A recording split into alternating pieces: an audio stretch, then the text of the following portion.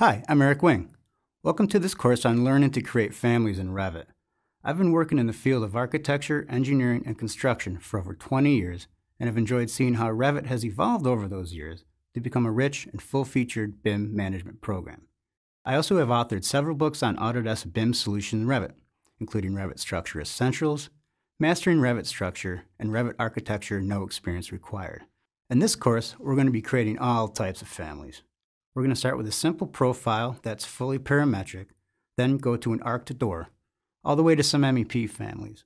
Within these families, we're going to be covering template selection, reference planes, parameters, solid forms, void forms, line-based families, arrays and families, nested families, yes-no functions, mathematical expressions, and if statements.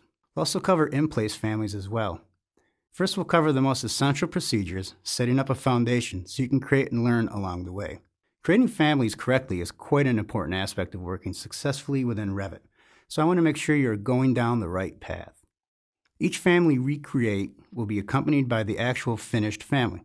You can use my families as the lesson progresses, or you can take what you're learning and apply it to your own situation by using your own families. You can be intermediate or advanced and still bring away some valuable skills. And you know as well as I do, once you master Revit families, you are the go to person.